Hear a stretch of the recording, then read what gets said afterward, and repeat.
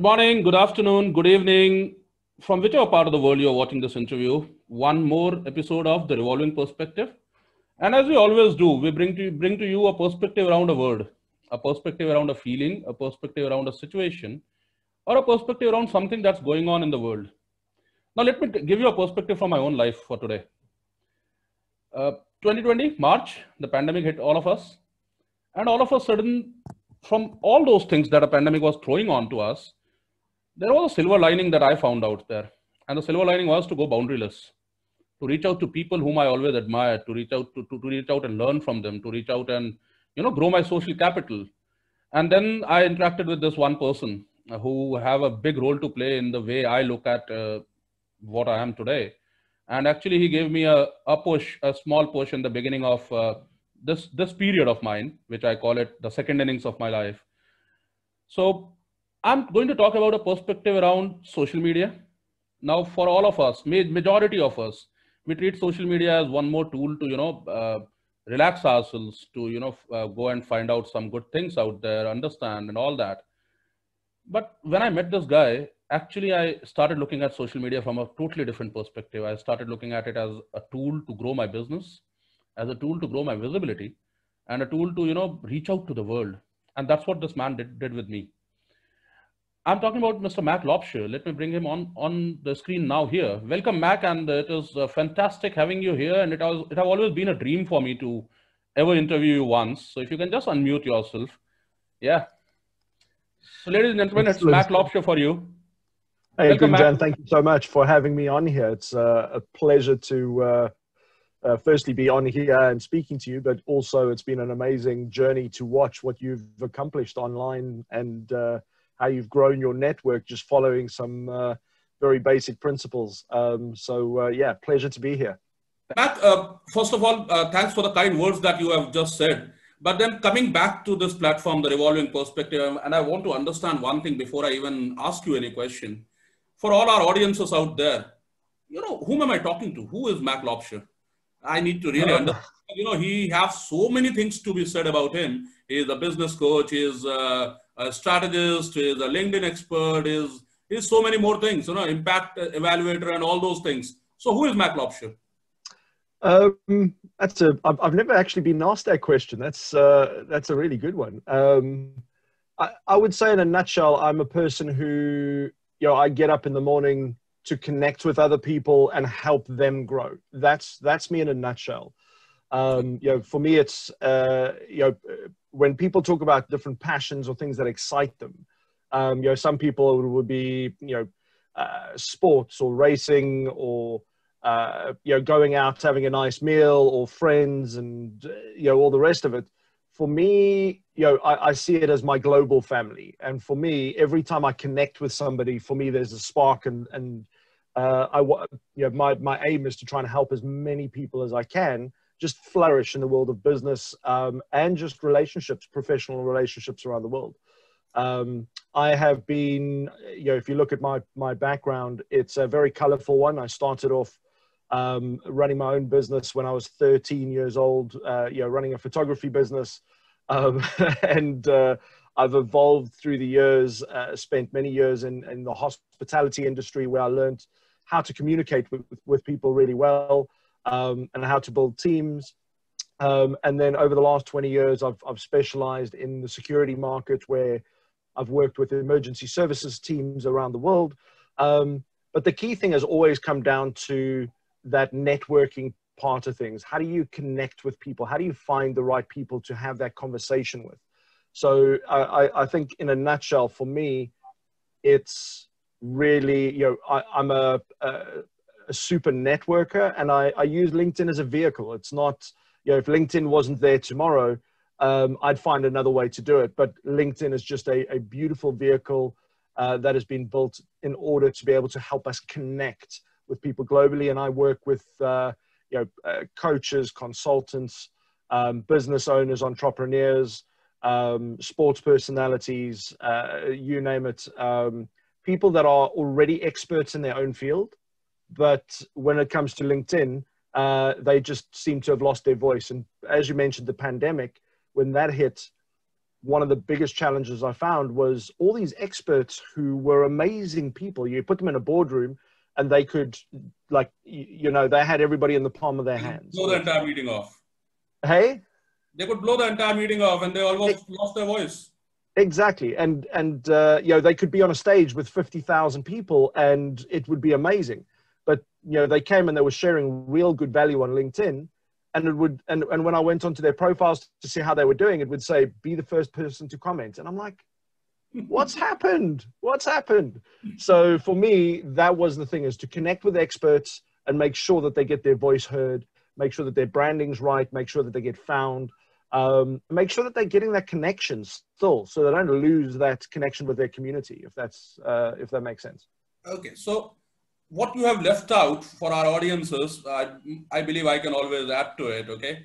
Uh, Mac is actually a train running on a track, okay, between two destinations, and anybody who can board that train will always reach out to a better destination. That's what Mac Laubscher is all about.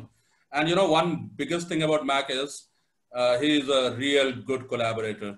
You know, he can re really make you introduce with every single co-passenger on that train for you. And that's what Mac Laubscher is for me. Okay, Mac, coming back.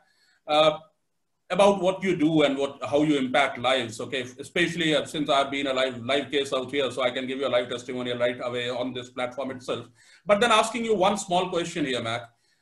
Linkedin okay and especially from the part of the world that i belong to or i come from it is still not being looked at with that seriousness in terms of you know as a tool to enable growth or enable brand growth brand enhancement or or rather to do business also for that matter so if I may have to ask the LinkedIn expert, which is Mac Laubscher out here, if you have to give that message to the people out here who are not taking it seriously, especially the entrepreneurs, because I feel, I personally feel an entrepreneur not on LinkedIn is actually not a businessman. He is, he is not operating his business properly. So what that message would be from your side going in? I think if you want to realize how important LinkedIn is for business, is just go onto the biggest search engine in the world, which is Google, and go and search your name.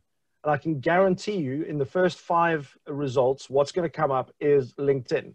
Because Google look at LinkedIn as the highest trusted source on the internet. Um, and at the end of the day, Google wants to make sure that they are presenting their users, the people that are searching, with the best information for the search they've put in. Mm-hmm. And if um, they look at LinkedIn, LinkedIn is seen as the highest trust source because it doesn't have a review center on there where you know um, people can go and make fake reviews or people can go on and um, you know if you look at people's websites 90% of the time on a website is people created their own reviews they you know created their own customers it's all you know fantastic all the time. Everything whereas on that exactly. out there yeah. Yeah. Whereas with linkedin you can go and check the recommendations out and see who they are and see if they're real. So i'll give you a perfect example. Yesterday one of the biggest um, uh, purple uh, people in in Canada in cryptocurrency mm-hmm. um, sent me two invites from two different profiles, and wow. I very quickly figured out that well, ah, it's interesting. They've got less than 200 connections. Um, they've only posted once. They spelt their company name wrong. Um, oh. They, okay. they you know, all these little things. So I very quickly figured out that this was a fake account. Mm-hmm. And I then connected with the real person and said, "Hey, you know, just to let you know, you've got two accounts that are busy, you know, um, trying to impersonate you." But that's the beauty of LinkedIn is you can very quickly look at some basics and you can see whether it's a real person or not. So, for entrepreneurs right now, you know, if you're, as far as I'm concerned, if you're not on LinkedIn, you haven't got your profile right, your your content strategy and your connection strategy, you don't exist um, in the world of business outside of your local uh, you know, community bre- uh, breakfast network as an example. Um, so yeah. Okay, so as I expected, the LinkedIn expert, whenever he opens his mouth, he will give you a tip or two. So, so for our audiences, uh, have I, if I've not told you earlier, now I'm telling you sit with a pen and paper if you are watching this interview anywhere from whichever part of the globe, because you'll keep getting those tips coming in from Mac. So Mac, coming back to you know what you just said. So for entrepreneurs who are not there, who, have, who don't have their content strategy, who don't have their profile well placed, they don't exist in the business world. Now taking it forward from here on, you know, it's easier to, or rather, rather not easier, I'll say, but it is still not that sort of rocket science to get a profile updated on LinkedIn and all those things. But you know, uh, for a basic entrepreneur, the first question that comes or the first roadblock that comes over LinkedIn is the engagement Okay, the engagement to be uh, kept with others, and you know the type of the content that you are trying to put in, and and how are you trying to engage with your audiences. Now, if I may have to ask you now, so this is not going to be a LinkedIn coaching session, but then out of curiosity, I'm just trying to ask you a couple of questions here.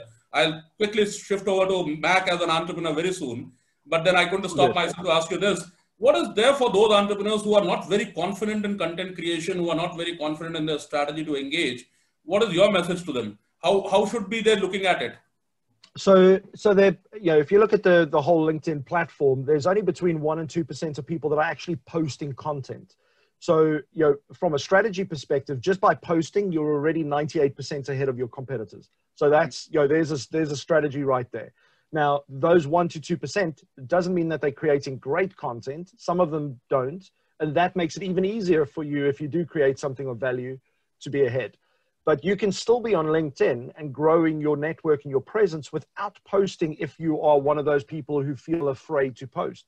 Just by going and engaging with mm-hmm. your target audience as well as those influencers within your industry will the uh, linkedin algorithm will put you in front of those people when it comes to search results um, and as well when people are you know engaging and commenting they'll see your name and what you do um, so you know for me the biggest mistake i made is for 10 years i was using a social media um, scheduling platform which is it's very powerful but what i thought was i need to send stuff out there and mm-hmm. that is also the biggest mistake you can make because if you send stuff out without engaging with your audience, right. actually saying thank you to those people who comment and engage, then you, know that's the, the biggest mistake you can make. So make sure that you say thank you, be appreciative, look after those people who appreciate you as well. Okay, fantastic. So Mac, now as I said, uh, I'm not going to uh, revolve it around LinkedIn only. So because I need to understand uh, for my viewers as to what Mac is bringing on the table, apart from you know his expertise on LinkedIn and his super expertise on LinkedIn for that matter. So let's talk to Mac as an entrepreneur, okay? And I, I, I want you to go back to the flashback and then try and understand as to, uh, try and make us understand as to where from this journey started and what was that change moment of your life which, which actually made you to become a LinkedIn expert and, you know, how did that happen? So it, it, it all started quite a long time ago, actually, in 2008, 2009 um, mm-hmm. when the when we had the big market changes over here globally, and um, I um, I was working for a very large organization. They merged with somebody else, and then the the financial crisis hit, and uh, you know, as uh, one of those things that'll happen to a lot of people, I got made redundant at the time, mm-hmm. and um, I took some time off to kind of reflect and, and decide what I wanted to do next. And uh, speaking to you know, one of the things I always do is network and connect. And the strange thing is, I went and did more networking when I didn't have a job um, yeah. than when I when I had one because I wanted to understand what made businesses tick, what was missing in the industry, what was missing for them. Um, and one of the big things I found was that so many businesses were they just you know in the digital age were not online. They weren't present, or if they were, they were doing the normal kind of marketing ad stuff and, and you just felt like you were being sold to all the time and they weren't building a tribe or community and um, I, I, had uh, a local business come to me and said you know mac uh, how do we get online? Um, and this was you know 11 years ago. And uh, i said well i'll figure it out to, how to build a website and then you know connect you to your social media stuff. Um, and that just turned out to be a game changer for them. And uh, I, I, I kind of carried on doing that. And i've been doing that within corporates and under nda for a lot of organizations in sales and marketing um, for quite some time and then um, a couple of years ago um, a, a, client of mine uh, brian chipchase who is in insurance he came to me and he said mac listen I, have never posted online this whole linkedin thing is over my head i don't you know i've always worked face to face um, and uh, you know, put me in a networking room and I, will walk out with 10 appointments, you know, no problem. He says, but I can't go see people. What do I do? Um, and I thought, okay, well, I'll, I'll, I'll, put him through a little course. And, uh, you know, he had never posted at all before. so we went through a process where we, I, I put a little course together on all the basics that I knew. And I didn't realize how many people didn't know these basics. Oh. And um, I went through and I, I over a, a 11, 12 week process, um, took him and many other business owners to a stage where they went from never posting to authorities in their space on LinkedIn, where their competitors were commenting on their posts saying, This is the person to follow within the industry. Oh. Um, and that made a huge, huge impact because all of a sudden, if your competitors are saying you're the guy to go to, your clients have that extra confidence and faith in you because they're like, well, why should I go anywhere else when everybody else saying you're the expert anyway? Um, and it's just presenting that social proof that you are good at what you're doing. Um, so, and and when it came to coaches, business owners, entrepreneurs, international speakers, um, I work a lot with international speakers and coaches. And like I said earlier, you know, you put them in a boardroom or on a stage, no problem.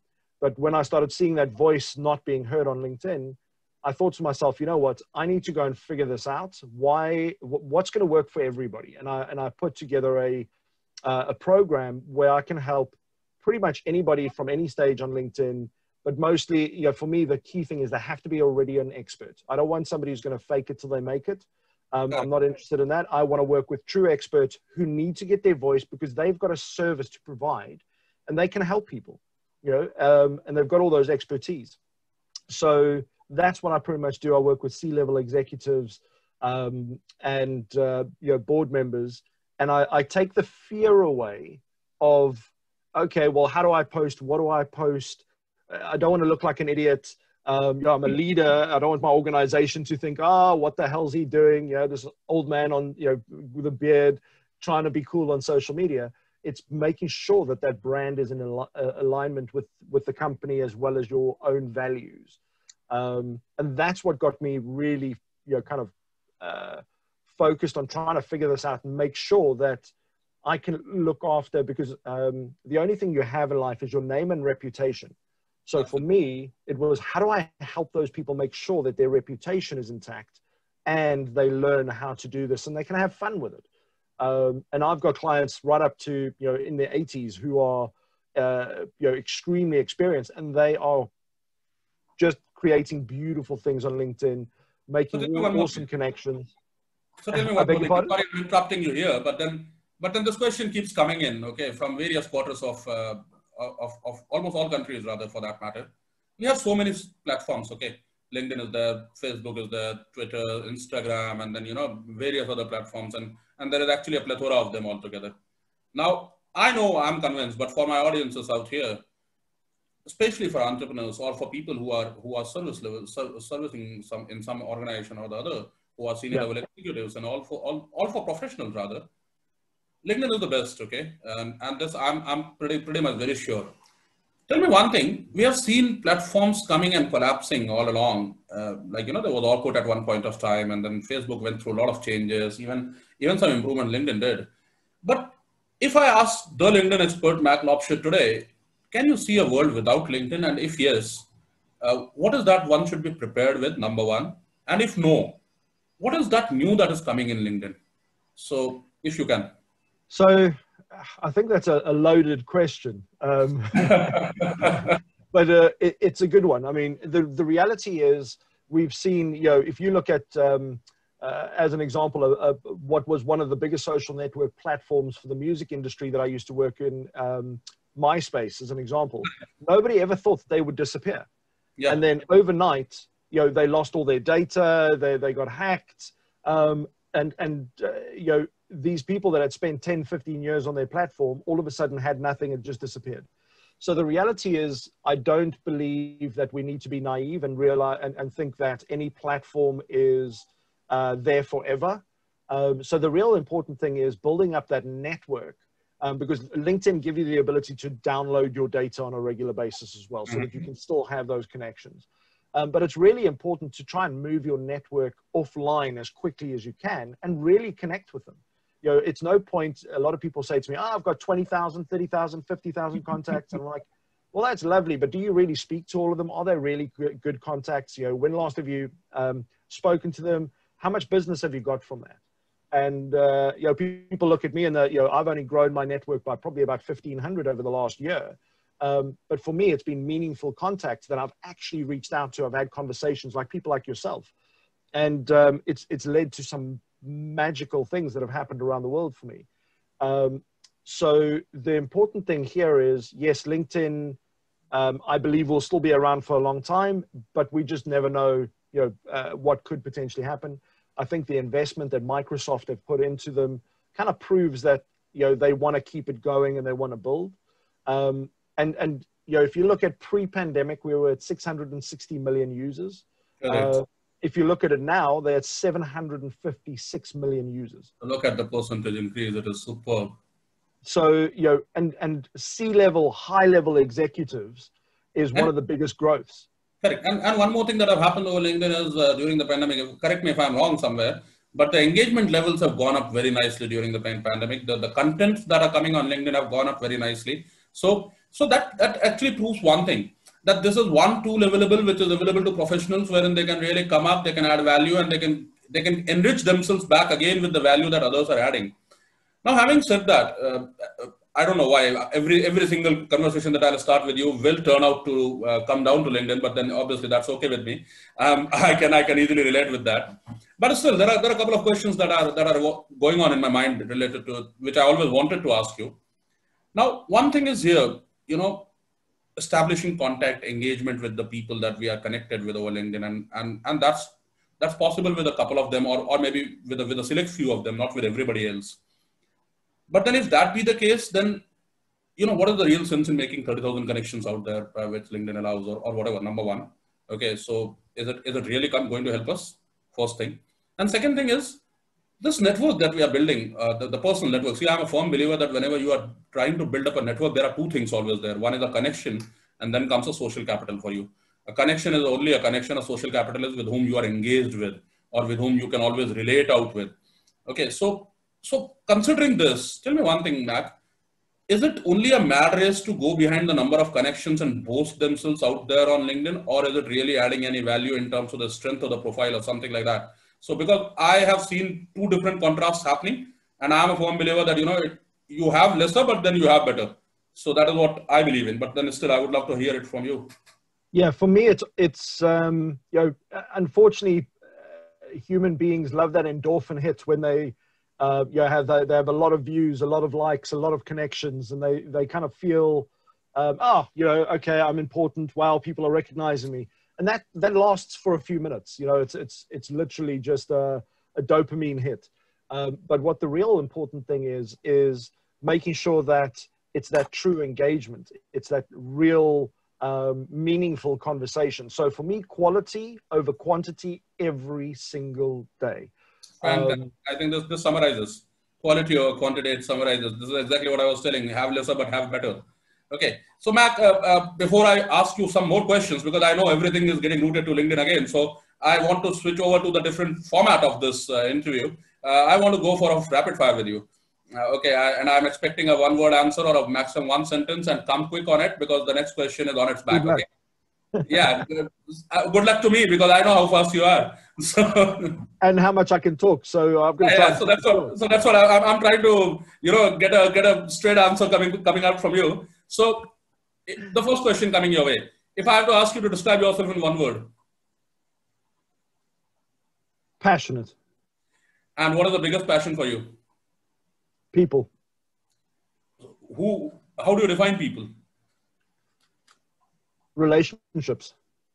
And uh, give me a couple of uh, good relation and bad relation examples. Mm. Uh, good relationships is where you can have a conversation without it, um, without thinking about it, where it isn't uh, manufactured, it isn't hard work, it's just a natural uh, conversation. Um, uh, bad relationships is a perfect example connect and pitch uh, which happens all the time on linkedin. Okay. One tip to come out of the bad relationships.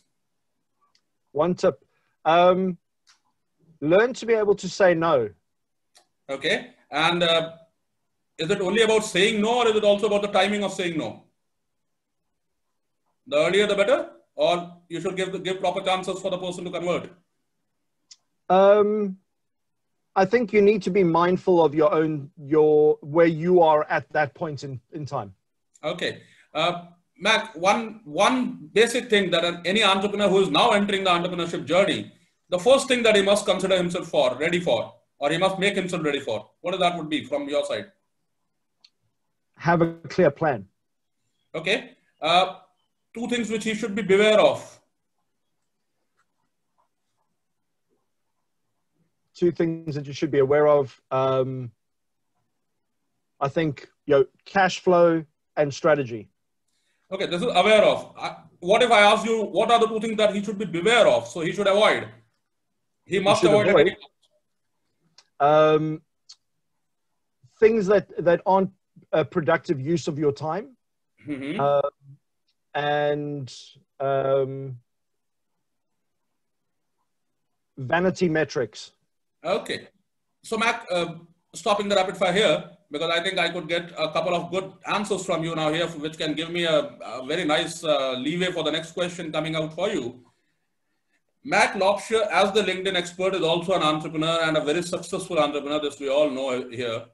Now, coming from all these expertise, from your business expertise, plus from your social media expertise, and plus your, your expertise with having such a vast connection or, or network of people across the globe, if I may have to ask you, one message that Matt Laubscher want to give it to, now, now I'm asking for two messages. One to the budding entrepreneurs who are coming up now, that as to how they should be looking at their life. So we have got some tips into the rapid fire here. I want some elaboration here.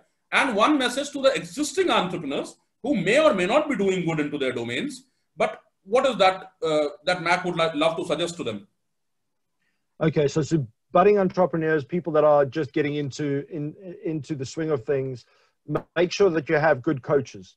Um, you know, I, I invest in coaches all the time, and don't be afraid to invest in coaches, whether it be monetary or even offering your time if you can't afford it.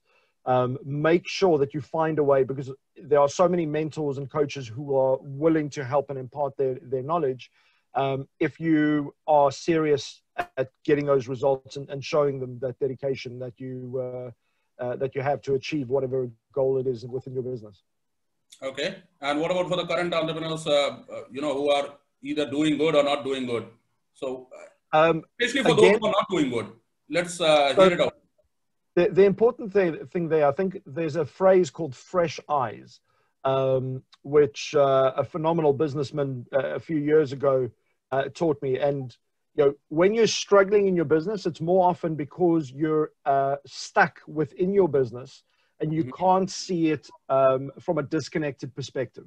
Okay. Um, and you know, if I look at mechanics as an example, you know, mechanics always driving around with a broken car. But if they took themselves out of the situation and looked how that reflects on their business, that would give them a new perspective. So get outside perspective um, and do yourself a favor, go and read a book called The E Myth, um, which for me is about working on your business, not in your business. Okay. So quite an important point coming in here, uh, Mac, working on your business and not in your business. Now it is all about, you know, the third, third perspective that you are talking about, you know, a third person's perspective towards your business putting yourself out and then seeing it as such into it into the entire thing okay? Now coming back to the basic question where i started with this entire uh, conversation with because now i'm running very close to the time that i need to uh, call it a day now uh, for this interaction especially i can inter- interact with you for hours together okay? So that's not an issue at all. But then for this particular platform i'll have to stop here. But before i leave i need, I need to, needed to understand one small thing from mac mac what is that one thing that always pushes you to you know to do those wonders that you keep doing you know like like making people connect making make giving people some good connects and making those wonders happening in the world. Because i have been a party to a couple of them which have really done wonders for me. So what is that one push which allows mac to keep doing that continuously? Um for me it's it's it's having a mindset of abundance um, oh. because if you if you sit there and you worry about you know I, I see so many entrepreneurs who think they're going to build a business through connecting people and they go oh i'll connect you but then i want a percentage of this and i want a percentage of that and they they, they have this fear of missing out you know oh well i introduced and i used to be like that a lot mm-hmm. um, and uh, the moment i changed my mindset to the mindset of abundance of connect people and my motto you know see where a conversation may lead um, and you know if you can just add value to other people, um, that that's what it's all about. You, you, will see it come back to you tenfold. So, Mac, I'm I'm carrying away two three important things uh, from this interaction. Okay, especially One is uh, your your abundance theory of abundance reminded me of a good friend of mine, one more friend of mine, Khalid Gibran from Malaysia. You know, he was the first who actually introduced me to this word abundance. And, and you know, from that day onwards, uh, this word have actually started living with me. So, so one thing is, uh, obviously, this word is now growing in the world because you will have to really believe into it to, in order to experience it. So do it to experience it sort of a thing it is. And second thing that I'm carrying from here is that, you know, you, the times are changing. And with the changing times, you know, be it the story that you said about 10 to 11 years ago, or be it the story that happened in last one and a half years, with the changing times, if we can't keep pace of our business and ourselves, it's going to be difficult. And, and you know, the one important thing that is happening in this world right now is digital. If we, if we are not there, if we are not there at the good platforms, which are proven platforms, after that, you create any number of platforms for you, it's not going to help. So be there where the public is, be there where your prospects are. And especially for my audiences out here, believe me, uh, Mac is that one person who have changed my perspective about about the entire thing that I've just talked about. And, you know, I have seen wonders happening. I've seen wonders happening. I've seen uh, a lot of things happening good with me. And believe me, that all came from one, all that what Mac did. Second, the theory of abundance that he talked about. So, ladies and gentlemen, today, with this episode coming to an end, carry back with you two things. One, keep pace with the world. And two, have faith on yourself. Thank you, Mac. It was a wonderful discussion with you. I would have loved to continue it for long, but it was a pleasure having you on board with us here at the Revolving Perspective, and this was a desire come true for me. Thank you very much. Thank you so much. It's always a pleasure to connect with you, and to everybody out there. You know, thank you for listening. Thank you for watching. And if I can ask you one thing, just take action. Just one little action. You know, if you've learned anything today, um, that's the biggest challenge most people face. Is they'll listen to something, they'll go, "Oh, that was nice," and then they'll move on. Mm-hmm. Go and take something and action it today, and your life will change. Thank you, Mac. Thanks a lot.